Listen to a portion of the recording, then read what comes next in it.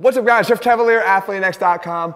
So today I'm gonna perform a dumbbell fly for you, but only because I wanna dig it up out of the iron graveyard so I can rebury it and throw one more pile of dirt on top of it. But I wanna show you something different. I wanna give you guys an alternative. I'm not trying to pick on the exercise. I'm trying to stress to you that there are better alternatives and I'm actually gonna lay out four reasons why. All right, number one, we know that with the dumbbell fly, I've even broken out the muscle markers to show this, guys.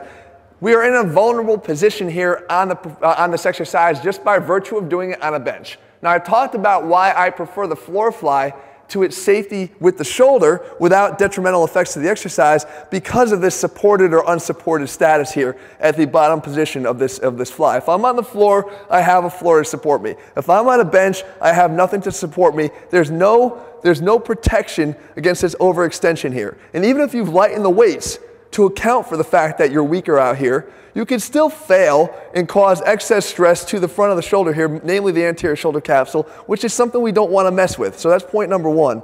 Point number two, because of this, because of this fact here, we know that the weight in a bench press becomes heavier here, feels heavier in a fly, whether there's a slight bend or whether there's a straight arm here, it, by virtue of the fact that the moment arm has increased. Okay, the effect on the muscle here, which is the pec, becomes heavier because the pec is less able to actually, you know, to apply its force as the distance of the dumbbell gets further away from it. So we know that, so it starts to feel heavy and we start to feel, again, weaker out here. So if that's the case, we actually have to decrease the amount of weight we use to accommodate for our weakness in this position out here. I might be able to, to have a lot more weight up here at the top, but I can't use it because I can't support it down here. So that's problem number two. Problem number three is at the top, right? At the very top of this exercise, we're actually here applying very little, if no force at all to the pec. I can sit here forever. But this is where we want the most because it's when the pec is, is in its peak contracted state or close to it because we want to get to full adduction, even across midline if possible. So that's a strike against it. So three really very real strikes against this exercise. Lastly, I've broken out the muscle marker to show you one other thing. We talked about the stretch on the pec. Like I said, I like to do this exercise because of the stretch I feel on it. When we know that, there are better alternatives for that as well. You can go to a bottom portion of a dip and get a better stretch on the pec than you can here in this exercise. But what we're really feeling is you're confusing it for a stretch on a different muscle. Because we know if we get to the bottom here of a bench press, like this, okay, we can see the pec is noted here by the purple uh, muscle marker markings here on the sternum and then out here on the upper humerus, right? You could feel that attachment. You can actually trace the pec with your fingers right into where it attaches. And we know that from this position here, if I were to increase the, the length of that moment arm by just opening up my elbows, the distance there, the amount of extra stretch on the chest is almost absent, if anything, extremely minimal. Even if I brought my arm down a little bit, it's very, very minimal. What I'm feeling is extra cartilage stretch in the rib cage, and also I feel the stretch of my arm, but that's due to a different muscle. That's due to something called the coracobrachialis. That muscle actually starts in here on the coracoid process, deep inside the shoulder, okay, and it runs outside further down on that same humerus. You can actually see a little piece of it underneath the bicep here. It's inside here, kind of noted it up top here too, just so you have the general position. But you see that when I take my arm from this position in here at the bottom of a bench, and then I open it up, what increases in length is the distance between those two points. Not by a lot, but by enough to feel the stretch palpably in that muscle.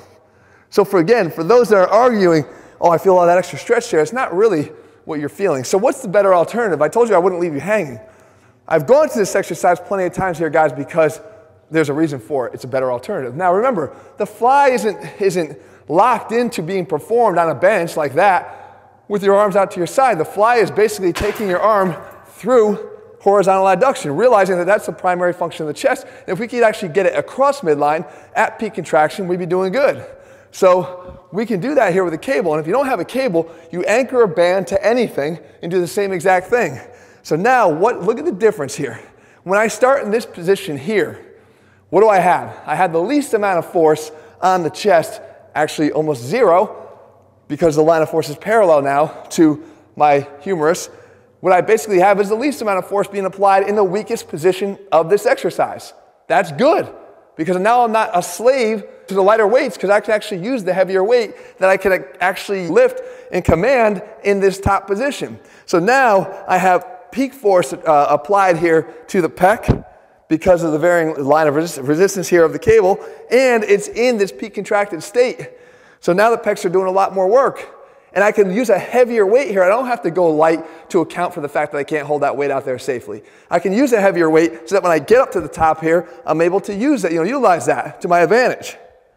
Okay, and at the same time here, I'm not concerned about the extra stretch for the same reason that I talked about when, when we're laying down on the bench. But what we've done is we've created an alternative to the fly, which is what? An adduction exercise. That's what it is.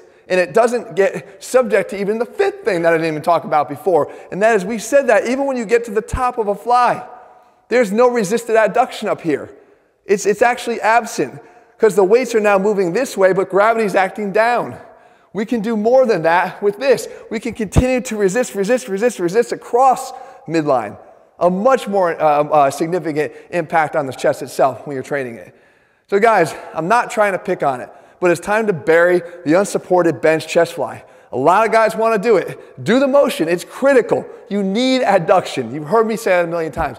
The chest fly will give you adduction, but in an inferior way. Do it with a cable or a band, and I promise you guys, you get better results. Right? If you're looking for programs that put the science into what we do, we choose exercises based on those that are backed by science, not just random, hey, this is what everybody else in the gym does. We choose the right ones based on science. They're all built into our programs, all available over at athleanx.com. If you found the video helpful, make sure you leave your comments and thumbs up below. And if you haven't already done so, guys, make sure you subscribe and turn on your notifications so you never miss a new video when we put one out. All right, guys, see you soon.